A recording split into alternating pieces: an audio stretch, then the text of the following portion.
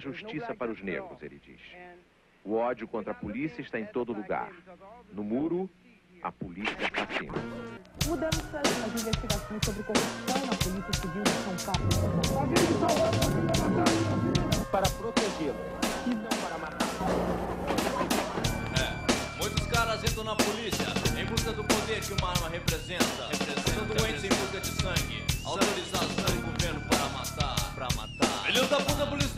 da puta vermelha, essas cores da morte. Dois carros se aproximam, de repente sabe, de repente só sorte. Fica esperto, mano. Ou eles vêm, te enxergam e pode crer, são psicopatas. Ei, já tá, vocês te enxergam, deu. Lugar errado, cara errado, hora errada. Mas não pega nada, não dá nada, não dá nada mais. Tudo dentro da lei, massa puta para, pensa e a resposta eu já sei, não passo, filhos da puta. Polícia na notícia, polícia assassina. Eu disse que polícia na notícia, polícia assassina. Eu disse que polícia na notícia, polícia assassina. Eu disse que polícia na notícia. Polícia assassina.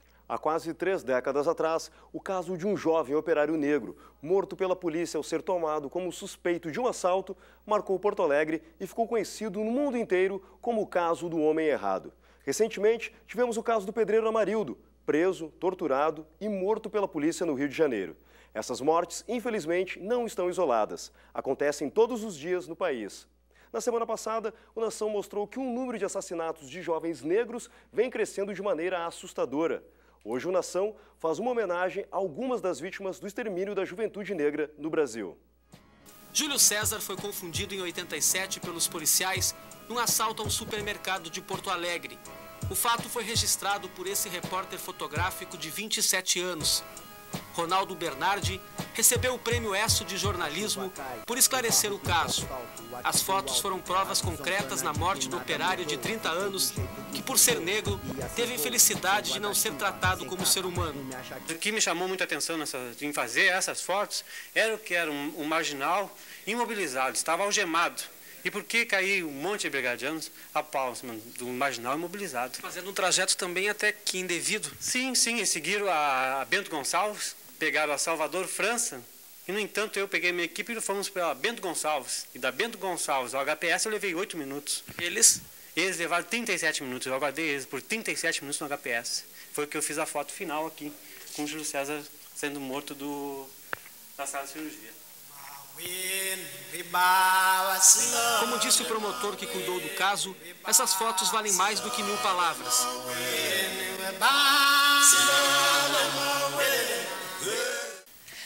Versão do ex-soldado Vomir Gambarra, Júlio César foi encontrado caído perto do supermercado do Sul, na Avenida Bento Gonçalves. Foi quando o soldado recebeu determinação para que levasse Júlio César até o hospital de pronto-socorro porque ele estava sangrando pela boca. Mas a caminho do hospital, o soldado recebeu outra determinação pelo rádio da viatura para que Júlio César fosse trazido para cá, para os fundos da revendedora Fiat San Marino. Aqui, o tenente João Luiz Clavijo determinou que se matasse Júlio César, que estava algemado. Foi quando o ex-soldado Jorge Jesus Gomes desferiu três tiros, atingindo o ombro e o tórax de Júlio César. Só depois, a vítima foi levada para o hospital de pronto-socorro.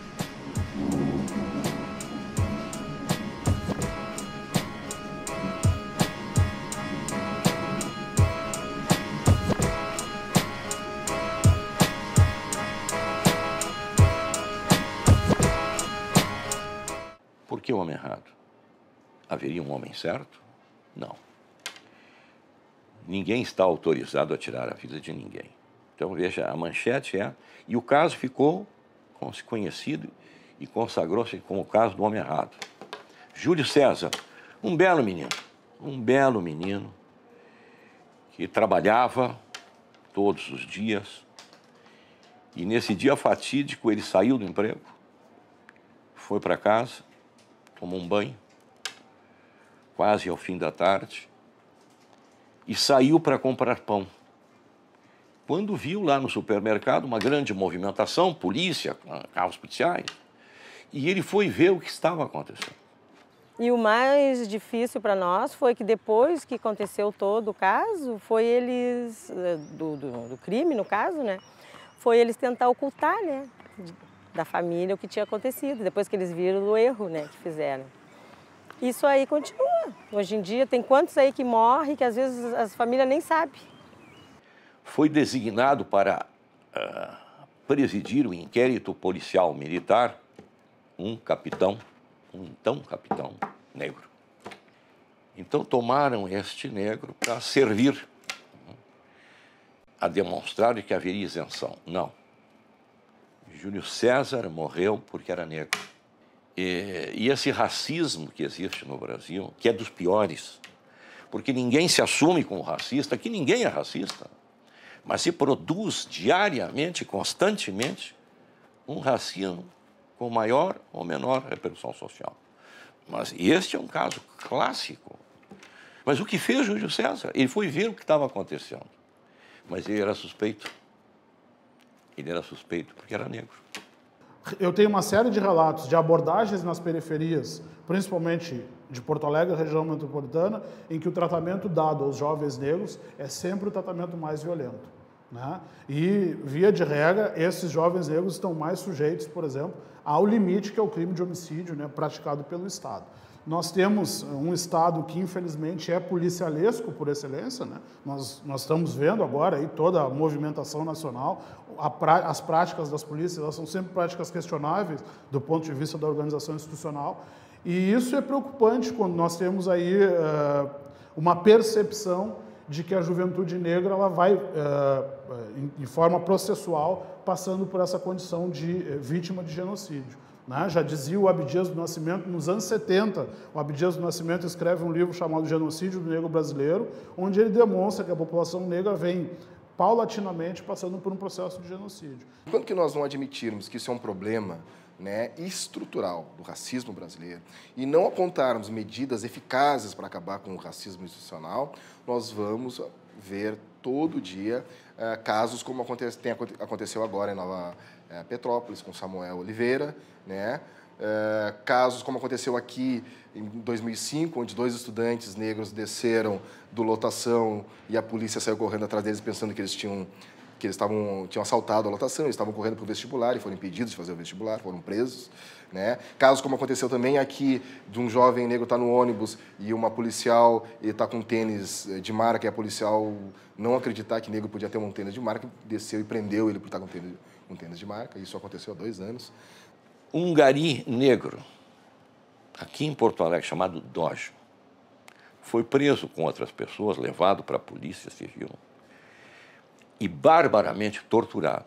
Se conseguiu fotos deste negrinho Doge no pau de arara. E nós não encontrávamos esse menino. Nós não encontrávamos. E um fotógrafo do então Jornal do Brasil foi aí nos morros e encontrou o menino. E nos trouxe o menino.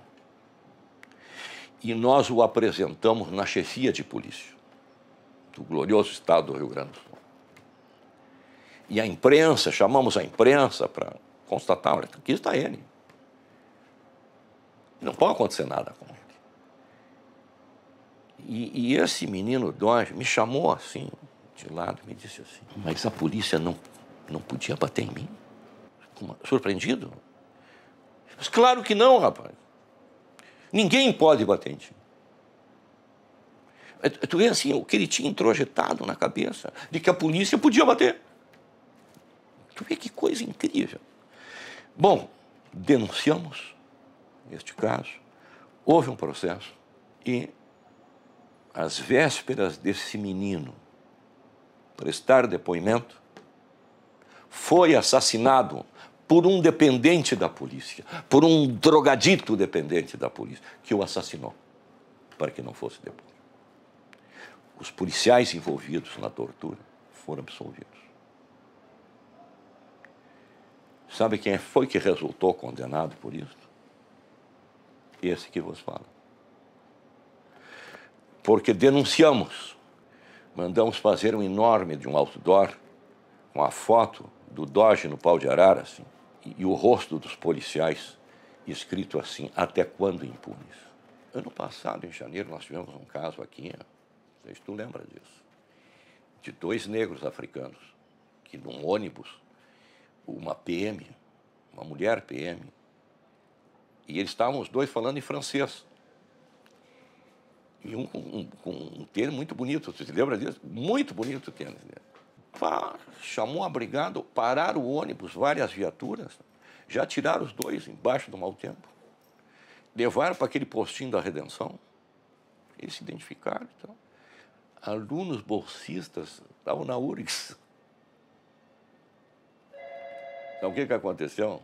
Aí o, o, o sargento lá diz assim, é, então tá, pode ir embora, não tem nada.